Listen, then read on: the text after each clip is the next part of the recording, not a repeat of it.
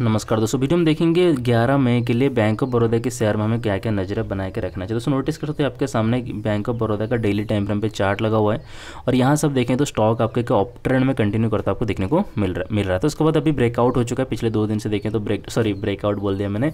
Breakdown हो चुका है, नीचे एक साइड में ब्रेकडाउन कर गया इसने।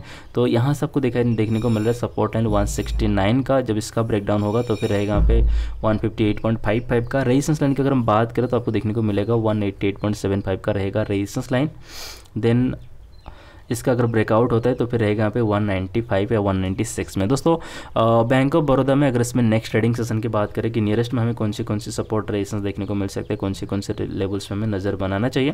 तो यहाँ पे हमने 169 का सपोर्ट लाइन देख, देखने को मिल गया 165 का आपको दूसरा सपोर्ट लाइन देखने को मिल गया। अब रेजिस्टेंस लाइन आपको यहाँ पे 179 का देखने को मिल रहा है। नेक्स्ट रेजिस्टेंस लाइन देखने को मिल रहा है आपको 185 का। वीडियो अच्छा लगे लाइक ज़रूर करें दोस्तों। अगर आपने सब्सक्राइब नहीं किया हमारे चैनल को प्लीज़ सब्सक्राइब कीजिए। और दोस्तों, अगर मुझसे कंटैक्ट करना चाहते हैं, कुछ भी पूछना चाहते हैं तो चैनल के अबाउट सेशन में देखिए कॉन्टैक्ट इन्फॉर्मेशन भी मिल जाएगा। थैंक यू दोस्तों।